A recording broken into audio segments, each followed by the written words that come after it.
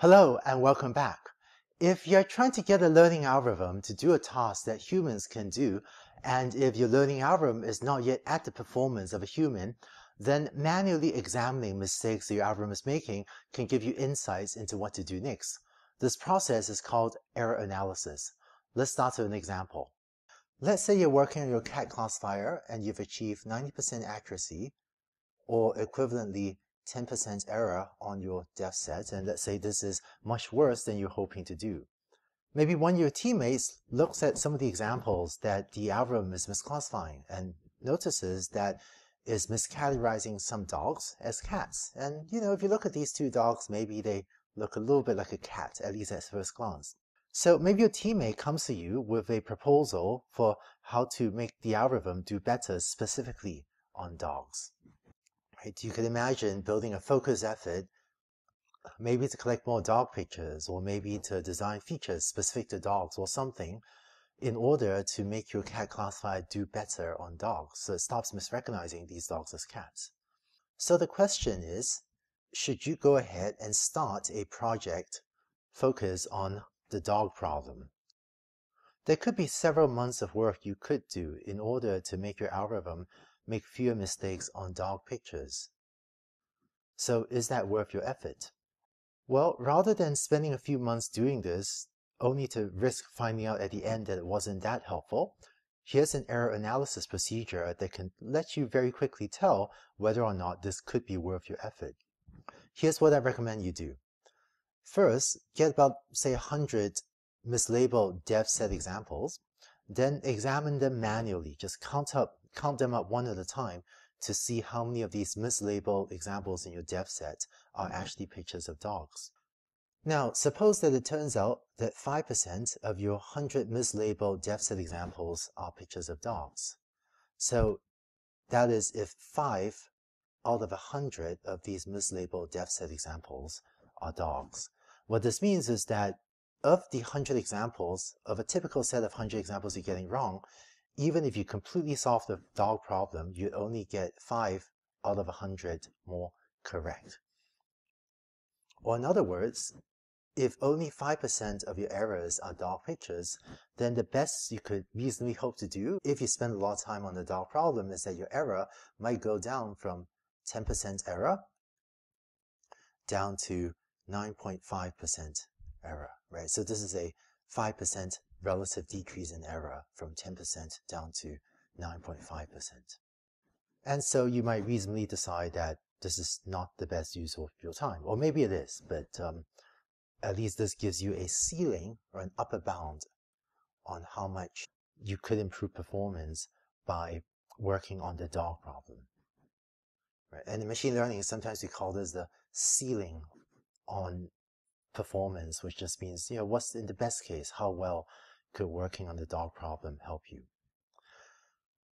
But now, suppose something else happens. Suppose that when you look at your 100 mislabeled dev set examples, you find that 50 of them are actually dog images. So 50% of them are dog pictures. Now, you could be much more optimistic about spending time on the dog problem. In this case, if you actually solve the dog problem, your error would go down from this 10% down to potentially 5% error. And you might decide that halving your error could be worth you know, a lot of effort focused on reducing the problem of mislabeled dogs. I know that in machine learning, sometimes we speak disparagingly of hand engineer things or using too much manual insight. But if you're building applied systems, then this simple counting procedure, error analysis, can save you a lot of time in terms of deciding what's the most important or what's the most promising direction to focus on. In fact, if you're looking at 100 mislabeled dev set examples, maybe this is a you know, 5 to 10 minute effort to manually go through 100 examples and manually count up how many of them are dogs. And depending on the outcome, whether it's more like 5% or 50% or something else, this in just 5 to 10 minutes gives you an estimate of how worthwhile this direction is and could help you make a much better decision whether or not to spend the next few months focus on trying to find solutions to uh, solve the problem of mislabeled dogs. In this slide, we've described using error analysis to evaluate whether or not a single idea dogs in this case, is worth working on. Sometimes you can also evaluate multiple ideas in parallel during error analysis. For example, let's say you have several ideas for improving your cat detector. Maybe you can improve performance on dogs, or maybe notice that sometimes what they call great cats, such as lions, panthers, cheetahs, and so on, that they're being recognized as you know small cats or house cats. So you could maybe find a way to work on that. Or maybe you find that some of your images are blurry and it would be nice if you could design something that just works better on blurry images. And maybe you have some ideas on how to do that. So if carrying out error analysis to evaluate these three ideas, what I would do is create a table like this. And I usually do this in a spreadsheet, but using an ordinary text file would also be okay. And on the left side, this goes through the set of images you plan to look at manually. So this maybe goes from 1 to 100 if you can look at 100 pictures. And the columns of this table, of this spreadsheet, will correspond to the ideas you're evaluating. So the dog problem, the problem of great cats, and uh, blurry images. And I usually also leave space in the spreadsheet to write comments. So remember, during error analysis, you're just looking at dev set examples that your algorithm has misrecognized. So if you find that the first misrecognized image is a picture of a dog, then put a check mark there. And to help myself remember these images, sometimes I'll make a note in the comments. So maybe there was a pit bull picture. Um, if the second picture was blurry, then make a note there. Um, if the third one was a lion on a rainy day in a zoo that was misrecognized, then there's a great cat on a blurry day, and I make a note in the comment section. You know, rainy day um, at zoo, and it was the rain that made it blurry, and so on. Then finally, having gone through some set of images, I would count up what percentage of these algorithms, uh, what percentage of each of these error categories were attributed to the dog or great cat or blurry categories. So maybe 8% of these images you examine turn out to be dogs, and maybe um, 43% great cats and 61% were blurry. So this just means going down each column and counting up what percentage of images had a check mark in that column.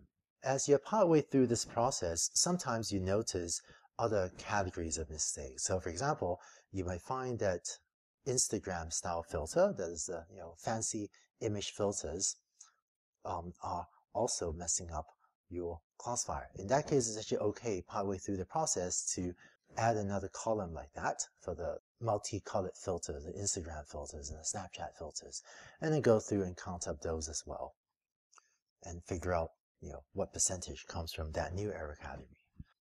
The conclusion of this process gives you an estimate of how worthwhile it might be to work on each of these different categories of errors. For example, clearly in this example, a lot of the mistakes were made on blurry images and quite a lot were made on um, great cat images.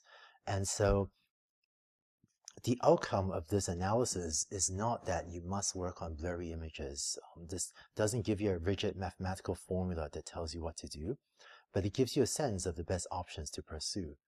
It also tells you, for example, that no matter how much better you do on dog images or on Instagram uh, images, you at most improve performance by maybe 8% or 12% in these examples. Whereas you can do better on great cat images or blurry images, the potential improvement, that is the ceiling in terms of how much you could improve performance, is much higher. So depending on how many ideas you have for improving performance on great cats or on blurry images, maybe you could pick one of the two, or if you have enough personnel in your team, maybe you can have two different teams. Have one work on improving errors on great cats and a different team work on improving errors on blurry images.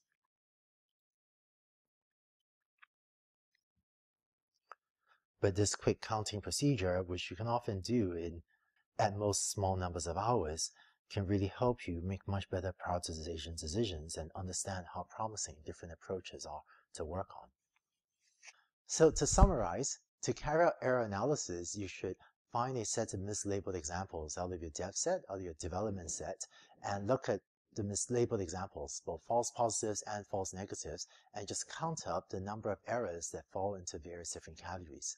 during this process, you might be inspired to generate new categories of errors. Like we saw, if you're looking through the example, you say, gee, there are a lot of Instagram filters or Snapchat filters. They're also messing up my classifier. You could create new categories during that process. But by counting out the fraction of examples that mislabeled in different ways, often this will help you prioritize or give you inspiration for new directions to go in.